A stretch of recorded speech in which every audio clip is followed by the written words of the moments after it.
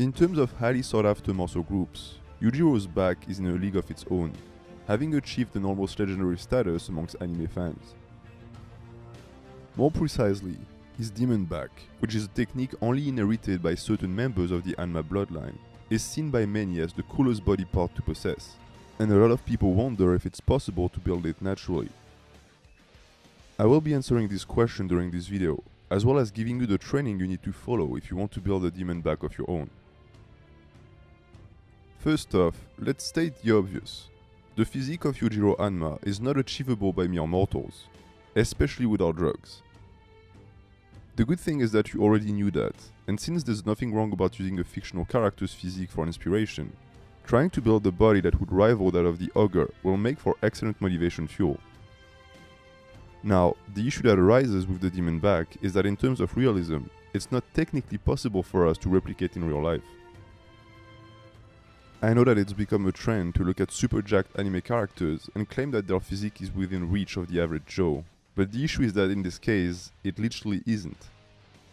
You see, when Yujiro Hanma activates his demon back, it's not just his muscles that grow. They actually get rearranged in the shape of a face, hence the name.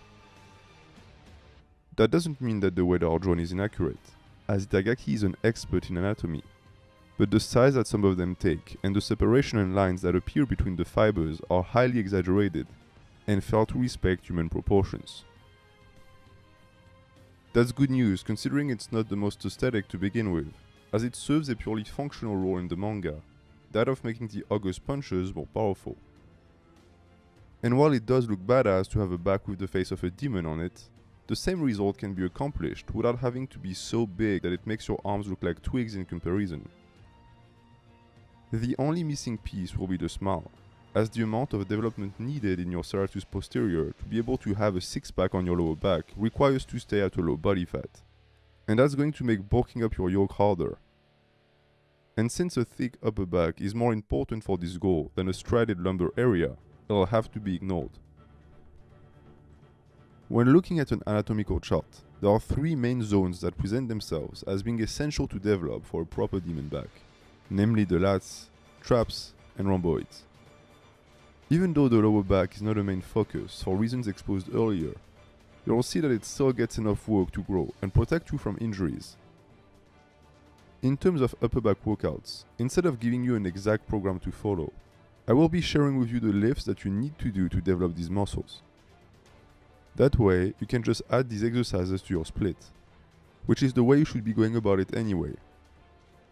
Building a demon back will take a long time, and there is really no point in focusing all your efforts on it for a short burst of energy just to give up after a few weeks and go back to your normal training. The upper back is by far the area of the body that has the highest potential for size, which is tragic considering how little most people work theirs. In that sense, the birth of a real life demon back might be possible. It's just going to depend on how much you want it and how long you stick with it. The main movement pattern to achieve that goal is the pull, that I will be dividing between hip hinges and vertical slash horizontal pulls. Your bread and butter will be deadlifts and pull-ups, as they offer superior upper back development. The logic behind doing deadlifts is that they help thicken the posterior chain, and also do a lot for traps and rhomboids growth, while offering good lower back stimulation if you know how to do them properly. Any other type of pull from the floor will serve the same purpose. As for pull-ups, they will hypertrophy your lats like nothing else, granted you do them with proper form. If questions about certain lifts arise, check the tutorial playlist for information. You can do them with body weight only or weighted, and switching grips will allow you to do them more often, which I highly encourage since accumulating volume on them is key. Those compound movements constitute the base of your demon back training, both shaping the outside of the face and thickening its middle. You won't only stick to these two exercises however, as adding variations to your workouts will help develop the back more harmoniously. In terms of horizontal pulls, I recommend doing dumbbell rows over their barbell variant, as they often make for a better stretch at the bottom, due to the heightened stability. You can do them with different grips, and target the traps or lats more, depending on your torso angle. As far as dumbbell movements go, I also highly encourage you to do pullovers, which are in my opinion the best lats exercise after pull-ups. If you have a tough time feeling your back working on pulls, they can also help by making you feel more connected to your upper back. Both them and dumbbell rows have very little impact on the lower back, which will allow you to stay fresh for deadlifts. They participate in building a more 3D demon back, allowing you to focus more on the details. If you want to add another pull to your arsenal, you can try ring rows, which closely resemble pull-ups in that they can be done with body weight or weighted and are easy to recover from. I suggest doing them with body weight only, as you can just elevate your feet to raise the difficulty if needed.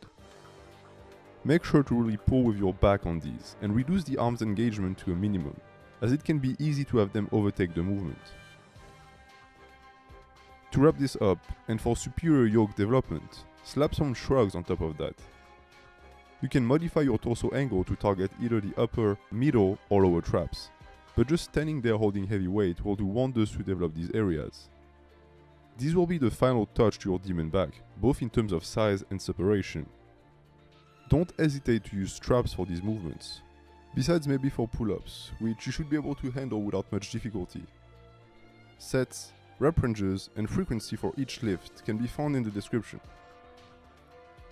Of course, you don't have to do every single exercise presented on this list.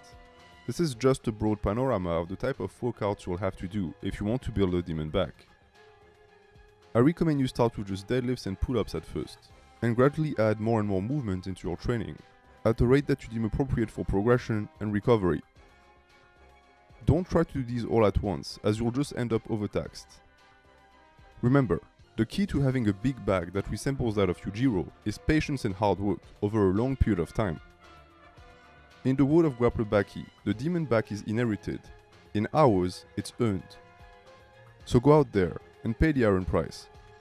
You'll be rewarded with gains and a new pair of eyes to prevent any assassin from striking you from behind. Thanks for watching and check the playlist for more anime workouts.